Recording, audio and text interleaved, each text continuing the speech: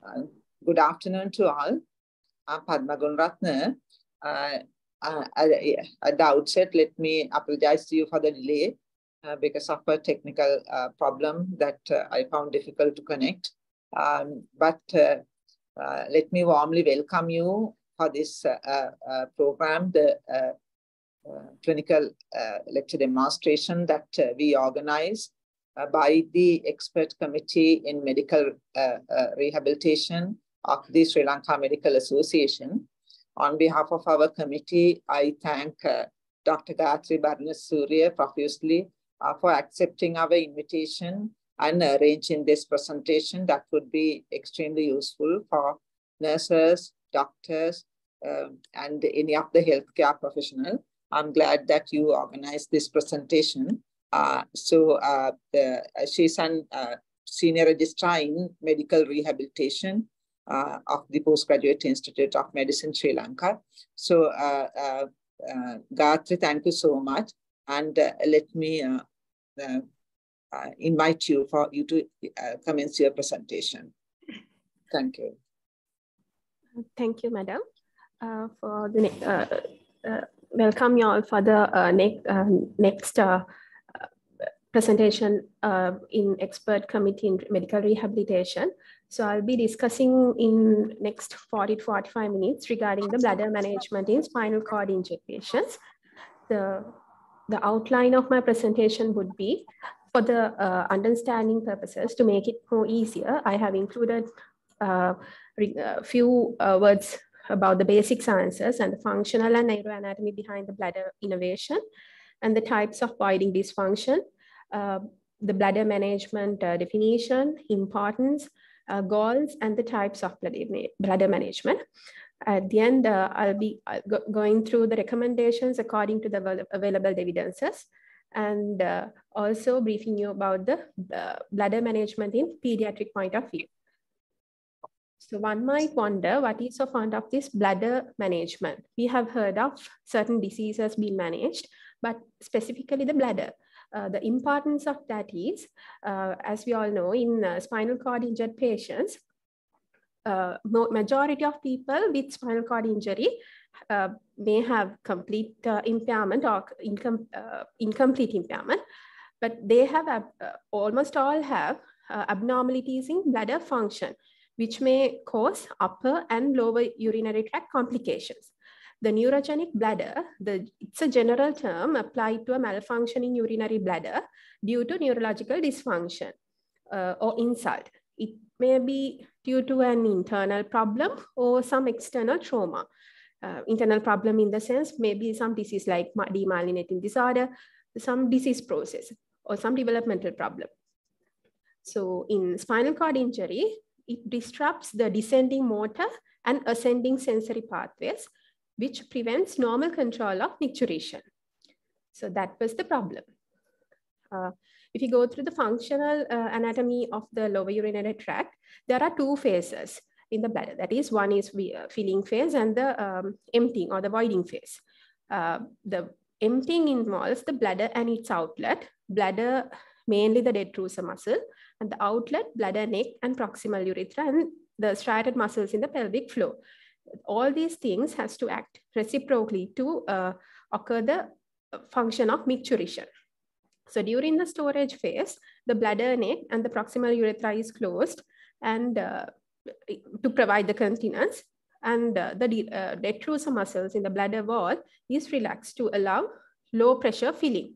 So uh, during the voiding phase, there's relaxation of the pelvic floor with opening of the bladder neck which is followed by detrusor muscle contraction until the bladder is completely empty. So that is the normal function of the bladder. So the innervation of the bladder, uh, there are a lot of interactions between uh, autonomic nervous system and somatic innervation is also there. Uh, and in addition to that, this, this action of micturition is mod moderated by the central nervous system as well. Uh, especially we are talking about the sympathetic here uh, for the for the uh, sympathetic innervation because it facilitates bladder storage and the parasympathetic mainly the bladder emptying or the voiding phase. sympathetic uh, receptor, uh, the beta adrenergic receptors are predominantly found in the superior portion of the bladder.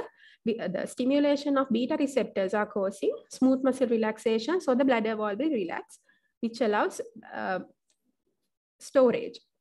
And the alpha receptors, they have higher density in the near of the bladder base, so that uh, activation of these causing smooth muscle contraction of the sphincter, which causing increased outlet resistance. So this understanding is important because when we are using the pharmacological agents, uh, in which are acting on two different uh, area, uh, areas, that the understanding is important. We go through the bladder innervation. As I said earlier, there are a lot of interactions from uh, autonomic nervous system and the somatic innervation is also there. So the, the parasympathetic efferent motor supplies are originating from S2 to S4 uh, levels at the, the sacral spinal cord. And these efferents travel via the pelvic nerves to provide excitatory inputs to the bladder. So the parasympathetic bladder receptors are called cholinergic because uh, it releases acetylcholine and uh, stimulation of these causing bladder uh, wall contraction. And then uh, there's a somatic innervation also, which passes through the pudendal nerve uh, pudendal nerve to the uh, external sphincter. And it innervates the uh, external sphincter so that micturition is permits when the time and the time, place, and social context is permits. So this is the place where the central nervous system is also intervenes with the bladder management sympathetic efferent nerve, uh, nerve supply to the bladder and urethra begins from the uh, T11 to L2 region in the spinal cord, which gives an inhibitory input to the bladder. That is the bladder innervation method. So this is mainly the local innervation coming from to the uh, bladder. In addition to that, to maintain the micturition process, uh, there are uh, there are several centers. So all these uh, centers are coordinating to occur the micturition in a normal individual. The sacral micturition center is located in uh, sacral region S3 to S4. It's a reflex center which uh, efferent, in which the efferent parasympathetic impulses to the bladder causing bladder contraction and afferent impulses provide the feedback uh, mechanism on bladder regarding the bladder fullness. And there is a, a center in the pontine region in the brainstem, which mainly uh, does the coordination part because as I said earlier, the bladder wall has to contract and uh, internal sphincter has to relax. So there's the, there should be a coordination in between. So that coordination is mediated by this pontine center in the brainstem and the cerebral cortex, which initiate or delayed voiding depending on the social context. Few words about the micturition reflex because we need to know the reflex mechanism in our uh, management uh, uh options. Uh, micturition reflex is uh, occurred at the uh, sacral level. And as so what happening in there is as the urine accumulates inside the bladder, the bladder, there are bladder stretch receptors located in the bladder wall, which get activated. And these sensory signals will pass through the parasympathetic nerves and, uh, and goes uh, parasympathetic nerves and then activates the motor nerves. These parasympathetic motor fibers then contracts, contracts the detrusor muscle and relaxes the internal sphincter so that uh, the voiding will initiate and the stretch will no more there. So it's a re uh, reflex mechanism where the CNS is, uh, the higher centers are not involving. So it's uh, the arc is along the sacral spinal cord. So knowing that uh, normal neuroanatomy will be going to the voiding, types of voiding dysfunctions we may come across during the rehabilitation process. Uh, depending on the level of the lesion, the types of void, uh, dysfunction may vary. So suprapontine lesions are usually found in uh, stroke patients and multiple sclerosis-like conditions where they have overactive bladder without uh, detrusor sphincter dyssynergia. I'll explain what detrusor sphincter dyssynergia means uh, in spinal injury, we mainly get um, lesions in, that is suprasacral spinal cord lesions. So initial spinal shock stage, uh, there will be detrusor areflexia, but as the bladder function recovers, uh, recovers in the sense uh, uh, once the they are get rid from the spinal shock, they may uh, commonly get detrusor external sphincter dyssynergia because the pontine uh, coordination is not more there. So there's no more synergy between the detrusor muscle contraction and the uh, sphincter relaxation. There's no more coordination. So that is the main problem there. So detrusor external sphincter dyssynergia is defined as intermittent or complete failure of relaxation of the urinary sphincter during bladder contraction and voiding. Uh, the problem with that is uh, when there's uninhibited bladder contractions through the closed uh, sphincter, uh, the high intravesical pressure is building up, which might cause upper tract complications. The other type is the sacral, um, the level is the sacral level, where you get highly compliant but acontractile bladder. So what is the importance of knowing this bladder management? Uh, what is the importance of knowing this bladder management, especially in spinal cord injured patients is, uh, as, uh, as the time passes in chronic spinal cord injury, the bladder function may change over time in, in those patients. In addition to that, their bladder urothelium, uh, urothelium also, uh, there are changes happening. So that uh, the regular barrier function of the urothelium is lost. So they are more susceptible for bacterial infections. Because of that, annual follow-ups and annual follow-ups of the bladder function and the upper urinary tract condition is more essential. So recommendation is to perform them annually if they don't have any uh, problem with that. Uh, so the European uh, Urological Society recommends to perform upper tract assessment as well as the lower tract assessment. Upper tract, usually we are performing with ultrasound scan assessment to look for the renal morphology. And uh, with that, we can get an idea about the post-residual volume as well. Urine analysis with urine uh, full report and if necessary cultures. Renal functions with serum creatinine. Lower tract, again, the ultrasound scan can uh, give an idea about that. Post-residual volume, we have to measure. In addition to that, bladder uh, wall thickness, with there's limited evidence, uh, the limited um, significance with related to the uh, uh, complications from the uh, with regard to the bladder thickness, but still we are measuring it. We're, we're looking at the trabeculations. In addition to that, stone formation, also we can get an idea with this ultrasound scan. So it's a very important uh, investigation to perform. And urodynamics, they always recommend to perform, but uh, it can be uh, done if abnormal, if you find an abnormal uh, post-residual volume, then the urodynamic is warranted. Cystogram is recommended to assess the vesicoureteric reflux, and cystoscopy is another important investigation to perform to assess the bladder anatomy because the patients who are on indwelling catheters are liable to get bladder C cancer. So cystoscopy is important.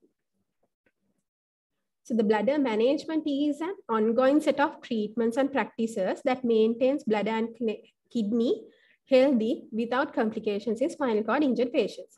It improves their health and quality of life with appropriate management can prevent incontinence and further complications. The patient is also incorporated into the bladder management because patient have an option to select the method fits them most. So bladder management itself cannot fix the or solve the problems caused by spinal cord injury, but it can help you to manage them their, uh, to improve their health and quality of life.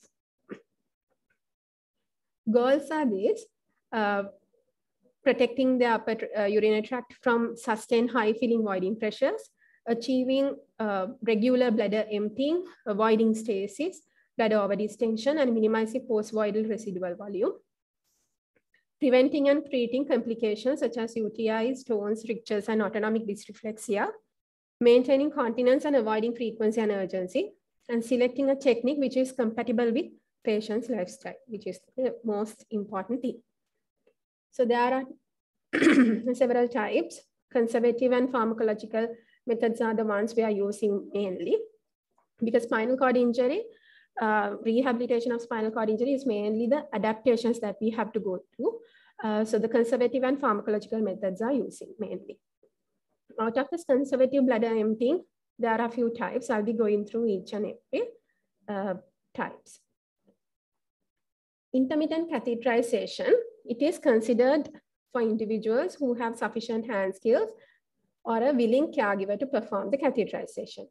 It prevents uh, long-term complications and it should be avoided in abnormal urethral anatomy. Uh, lesser individuals with lesser bladder capacity, less than 200 ml, and patients with poor cognition and little motivation. Even with uh, intermittent catheterization on given intervals, still the upper tract complications can occur because high bladder pressures can be uh, coexist with that. uh, these are the prerequisites to select the patients. They should have well-controlled detrusor activity, including good bladder capacity, adequate bladder outlet resistance, and uh, absence of urethral sensitivity to pain while doing the catheterization and the patient motivation.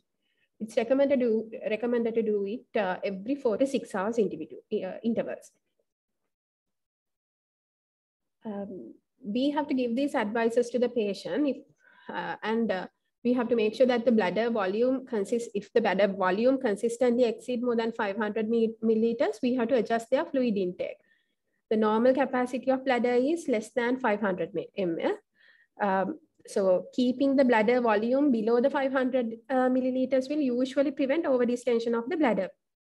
So limiting fluid intake will decrease the amount of urine produced and can be helpful in decreasing the frequency needed to intermittent catheterization.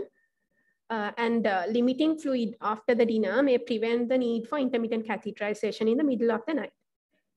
In addition to that, we have to monitor the upper tract complications annually and more frequently for already established complications. Uh, and studies have shown instituting clean intermittent catheterization teaching and training sessions for individuals before the discharge from acute phase of rehabilitation have associated with a lesser number of complications and uh, more quality of life later on. Uh, indwelling catheterization, whether it's suprapubic, urethral, or whether it was conducted acutely or chronically, may result in higher long-term rate of urological and renal complications than other management methods. So at all possible times, if possible, try to avoid indwelling catheterization. Um, whether suprapubic or urethral, go for other methods. So it is being considered in patients who have poor hand skills, high fluid intake, cognitive impairment, elevated detrusor pressure, and um, lack of success with other uh, bladder management and limited assistance from the caregiver. And when we are performing indwelling catheterization, we have to advise the patients regarding the long-term complications associated with that. This is the list of that. Main thing is bladder stone formation. So we have to inform to them. And uh, it was shown that recurrent bladder stone formation is more common among female, probably because of high risk of high incidence of urinary tract infections complication rate is higher for someone using indwelling catheterization than other methods of bladder management. And uh, also we have to conduct more frequent cystoscopic evaluation in chronic indwelling catheterized patients. And they have suggested to uh, use anticholinergic in individuals with suprasacral lesions.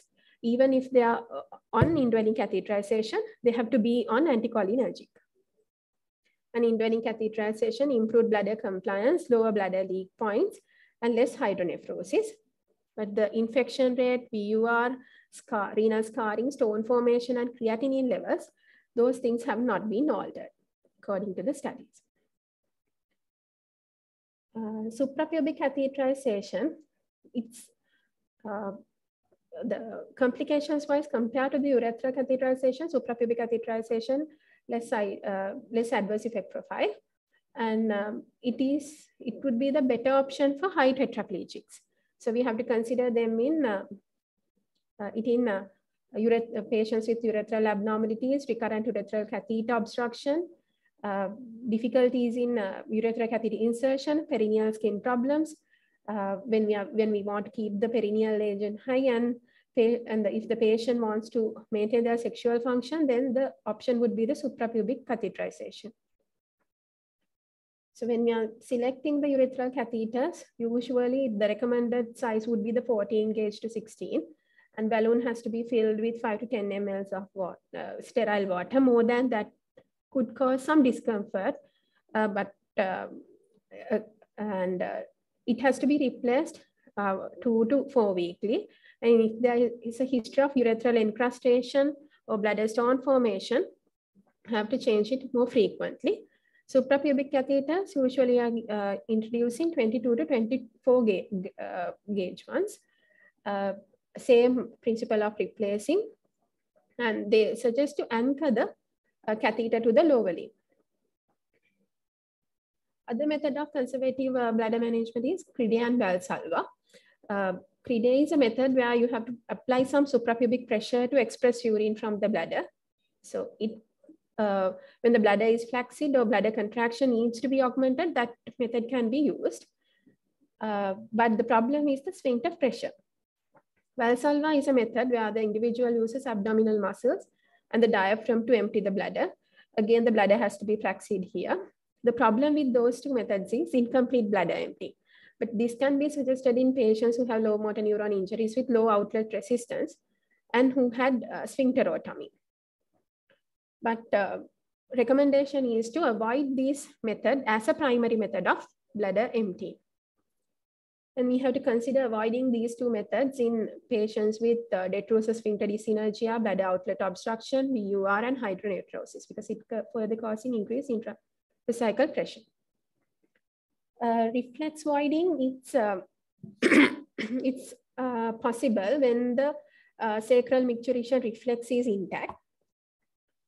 Uh, the bladder is contracting against a dyssynergic sphincter. The problem is again the risk of autonomic dysreflexia and the upper tract complications. Uh, it, the suitable candidate would be a, an individual with poor hand function and uh, we have to consider using alpha blockers or botulinum toxin to help the to help to decrease the this, uh, this detrusor sphincter dyssynergia uh, for this reflex voiding. But uh, the Credé and Valsalva and the reflex voiding are usually not recommended as uh, primary method of bladder uh, management. These are the recommendation according to the EUS. Uh, clean intermittent catheterization is recommended for spinal cord injured patients with chronic urinary retention.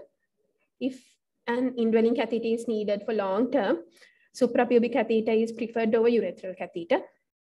The development of UT, uh, urinary tract complications are UTI, urethral erosions, should be carefully monitored and treated in spinal injured patients with long-term indwelling catheterization.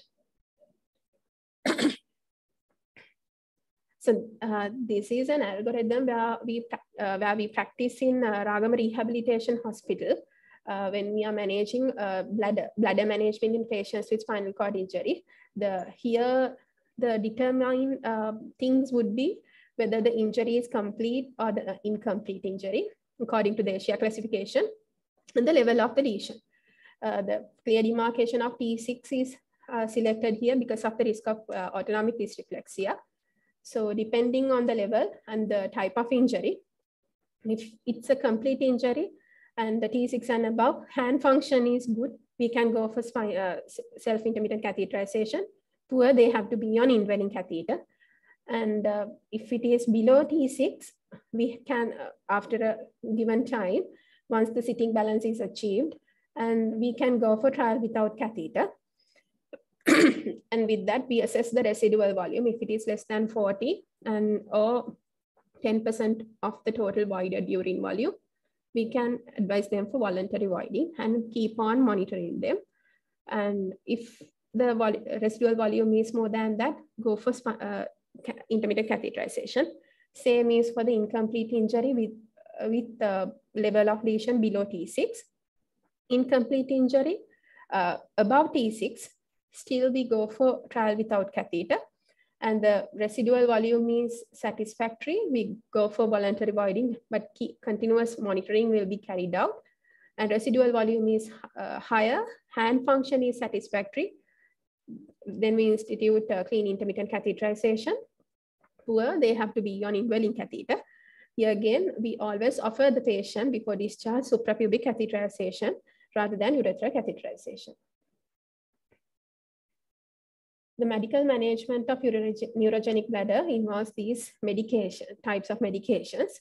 The main goal is to block the acetylcholine receptors on the bladder wall, thereby reducing uninhibited contractions. Oral agents are available. Uh, anticholinergic drugs are using, mainly the oxybutynin and tolterodine is practicing. Uh, oxybutynin has some uh, local smooth muscle relaxing property and also local anesthetic effect.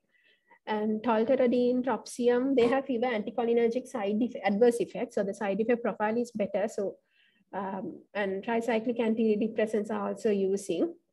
They have an additional effect on internal sphincter by preventing uh, norepinephrine reuptake inhibiting. Uh, the problem with that is the uh, autonomic dysreflexia. Uh, alpha blockers, uh, we use, uh, it uh, relaxes the smooth muscle component in the bladder neck, so allow better urine flow. Um, and it is considered as an unsurgical method to treat detrusor sphincter dyssynergia and low bladder pressure during voiding. And uh, we have to consider the use of alpha blockers as a supplement to the forms of treatment, such as uh, sphincterotomy. So it was shown, in, there's evidence to uh, say that when urethral resistance is lesser, the detrusor overactivity might also improve. Uh, the problem with alpha blockers is we have to avoid it uh, in patients with symptomatic hypertension, hypotension, and patients on PDE5 inhibitors. Because usually the patients with spinal cord injury, they have low blood pressure. So we have to keep on monitoring their blood pressure. Out of the antimuscarinic uh, drugs, uh, oxybutynin is widely used. Uh, but the intravesical and the extended uh, release preparations have better side effect profile. Tolterodine also as effective as oxybutynin. Again, they have lesser side effect because they have affinity for the salivary glands. Retrospective reviews show the bladder compliance was significantly better in those using oxybutynin and complications including hydronephrosis and febrile, uh, febrile UTI were much less frequent in that study group. So they always advise to use antimuscarinic. This is the uh, recommended uh, list of uh, uh drugs to use uh, in the pharmacological management of bladder management. The thing is the combination therapy. It's always advised to use combination of alpha blockers and antimuscarinics because they act synergistically rather than increasing the dose of one particular drug uh, medica medication group, they always advise to use combinations. So side effect would be better. Uh, desmopressin, it was recently approved for use in adult with nocturnal polyuria uh, because uh, the nocturnal polyuria is a problem with spinal cord injured patients, but, uh, but the initial management of nocturnal uh, nocturia, it's always uh, the behavioral and so the refractory cases only, uh, we have to use this desmopressin. Recommendations with regard to the pharmacological management, all patients with uh, neurogenic bladder who are in retention, uh, other than atonic bladder, should be on antimuscarinic treatment. Uh, even, even it's applied for the patients who are on indwelling catheter. Antimuscarinics improve bladder compliance, continence, detrusor overactivity and should be titrated up with achieved clinical efficacy. Failure to respond, always we have to ensure that the dose is optimized. And uh, if still not achieving treatment uh, success, bot botulinum toxic injections can be uh, offered and combination drug therapy should always uh, advised. And history of autonomic dysreflexia, alpha blockers are added earlier in the therapy botulinum toxin injection, it is another method of uh, managing uh, bladder. Uh, it's mainly used to uh, prevent upper tract complications. In that case, we use to inject to transurethral and transperineal injection. Uh, and to treat neurogenic bladder, injections to the bladder wall. detrusor sphincter dyssynergia uh, injections to the sphincter. Few words about the mechanism of uh, botulinum toxin here. Botulinum toxin inhibits acetylcholine release at the neuromuscular junction, uh, which in turn blocks neuromuscular contractions and relaxes the muscles that are either spastic or overactive. It can therefore relax the intern, uh, sphincter spasticity as well in patients with detrusor sphincter dyssynergia. Uh, lack of uh, permanence in this drug is both an advantage as a disadvantage, uh, which uh, we need frequent um, injections because the effectiveness is losing after about three to six months when the nerve ends are resprouting. Thus, re-injections are usually necessary and there's no limit to the number of re-injections that may be required. Detrusor overactivity, um, Uh, here, the uh, botulinum toxins can be injected to the detrusor muscle. Uh, the recommended dose would be the 100 to 300 units. Uh, the effects can be aware of, as I said earlier, three to six months, and it can be used in both males and females. This is the recommendation they have given with the recommended doses and the places to inject uh, if when we are injecting into the sphincter, we have to avoid these in the injecting in these conditions who have neuromuscular disease, allergies, adverse effects, and who are on aminoglycoside, insufficient hand skills or caregiver. And we have to avoid injecting to sphincters in female patients. And we always have to advise them regarding the potential complications because they are at risk of developing autonomic dysreflexia during the injection. So we have to keep an eye, keep an eye on open and uh, hematuria during the injection. The recommendation is to um, detrusor injection is effect, uh, effective in treating spinal injury patients with uh, neurogenic detrusor overactivity refractory to anticholinergic medication.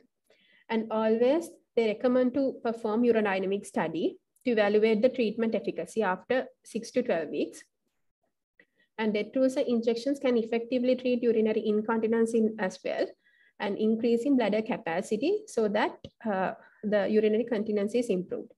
Urethral sphincter injection effectively relaxes the dyssynergic sphincter by reducing bladder outlet resistance and protects the upper urinary tract.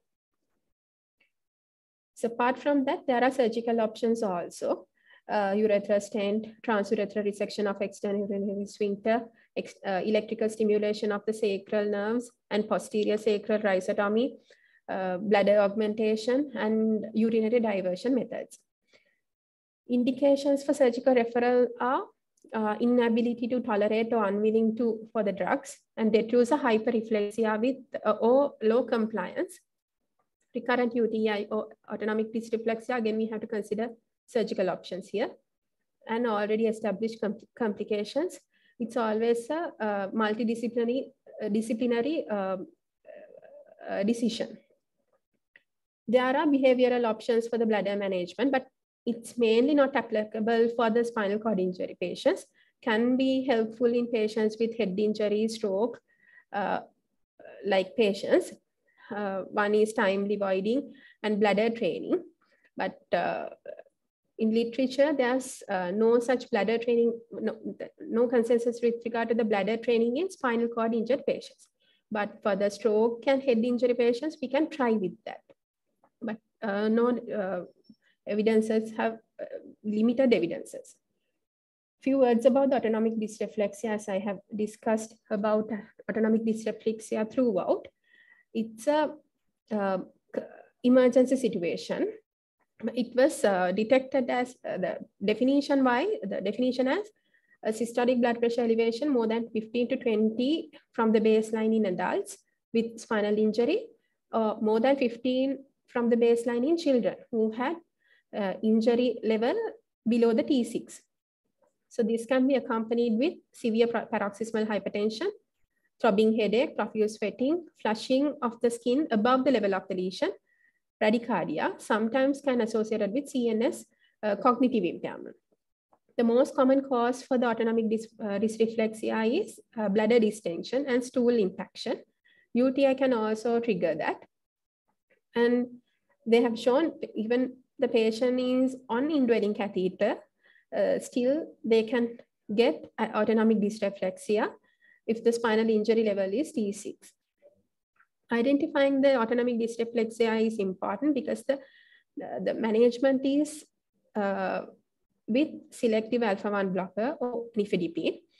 And um, external sphincterotomy, detrusor injections have been proven to be able to alleviate some autonomic dysreflexia in future. Uh, this is the recommendation again given in the European uh, Urological Society with regard to the autonomic dysreflexia. Selective alpha-1 blocker or nifedipine may be considered for the initial management of repeated AD attacks. An intravesical botulinum toxin injection, urethral sphincter, uh, sphincter injection, or sphincterotomy may be an option in the active management of chronic autonomic dysreflexia. But there's limited evidence with regard to the bladder augmentation, sacral denervation. Few words about the pediatric spinal cord injury, bladder management. The, unlike in the adult population where the etiology for the spinal cord injury would be the uh, trauma, the in here the pediatric population the most common etiology in uh, for the neurogenic bladder is uh, developmental problems uh, mainly the spina bifida. And the most frequent malformation is uh, lumbosacral meningomyelocele so damage to the renal parenchyma in children with neurogenic bladder acquired in postnatal stage is preventable given with given adequate evaluation follow-ups and proactive management. Uh, patients with neurogenic bladder may present, they may present with urinary incontinence, UTIs, vesico-ureteric reflux, and eventually renal scarring and renal failure. So indication for starting tree, uh, management in uh, children, the timing of initiation of uh, intermittent catheterization is controversial almost all the patients, uh, the pediatric population may need intermittent catheterization, but the timing of initiation is controversial. Uh, International Children's Continence Society, and again, the European uh, Urological Society in uh, pediatric population also suggest, these both suggest uh, uh, there are two approach for the time with regard to the timing of initiation. So with that is expectant approach and the. Uh, so early treatment versus expectant uh, treatment. With the expectant approach, patients are periodically monitored in order, in order to evaluate changes in upper urinary tract. And the intermittent catheterization is indicated when there's clinical deterioration or development of hydronephrosis. And the early treatment or the proactive management methods, the CICC is initiated even before the establishment of these complications and even before evaluating with ultrasound scan or uh, urodynamic studies. So those who recommend it emphasize that the fact, uh, fact that it helps to achieve better adherence and reduction in the need of reconstruction of urinary tract and a reduction in the risk of renal deterioration. So the European uh, Society of Pediatric Urology and International Children's Continence Society propose a proactive management with early indication of intermittent catheterization. So these are the recommendations for the bladder management in pediatric spinal injured patients. Here, the, uh, they recommend to uh, evaluate all patients with ultrasound scan soon after birth. And every patient should be evaluated with all the patients in the sense with the uh, uh, uh neural tube defect. Uh, every patient, uh, and it has to be done, the urodynamic studies has to be done during the first six months of their life. And every patient with spina bifida should undergo DMSA scan during their first year of life and after six months of having episode of pyelonephritis. The early treatment with clean intermittent catheterization helps to prevent complications. The difference uh, compared to the adult population is they suggest here antibiotic prophylaxis, but it is not considered in children with uh, uh, all children with uh, intermittent catheterization. Exceptions are initial first few months, they can start an antibiotic prophylaxis until the uh, catheterization technique is trained. And otherwise, it would only be re recommended to start in cases of patients with vesico-ureteric reflux, hydronephrosis, or uh, recurrent febrile UTI. So, so the summary of my uh, uh, talk would be the principal goals of managing neurogenic low urinary tract dysfunction in spinal injured patients are preserving renal function and keep maintaining their quality of life by reducing urological complications. Treatments of spinal injury patients should take into account the patient's acceptance and expectations in addition to the disease. The urodynamic study at baseline is essential and uh, regularly uh, arranged uh, if needed. Clean intermittent catheterization ought to be utilized as the first line of treatment for spinal injured patients who are unable to urinate. Patients should be instructed regarding the catheterization technique and associated behavioral modifications, risk uh, related to the uh, catheterization using a multidisciplinary disciplinary approach is possible, except in cases with tetraplegia and long-term indwelling catheterization should be avoided. All patients with neurogenic bladder who are in retention other than those with atonic bladder should be maintained on antimuscarinic treatment. Other options are available like botulinum toxin injections, surgical methods, but have limited practices in our settings. So most important thing is continuous follow-ups and monitoring of bladder function is important even after discharge of the, the spinal cord injured patients after completing the physical rehabilitation. So continuous follow-up is the mandatory thing here. So these are my references. And, and I would like to uh, thank all my uh, trainers in adult rehabilitation and pediatric rehabilitation. And uh, Sri Lanka Medical Association Expert Committee in Medical uh, Rehabilitation for giving me this opportunity and to all my patients. Thank you.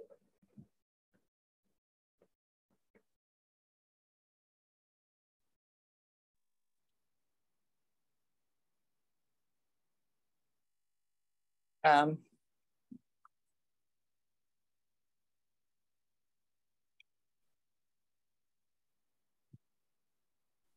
Samita?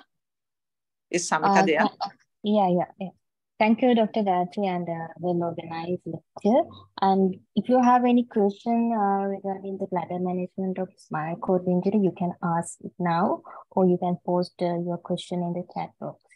If there is any question.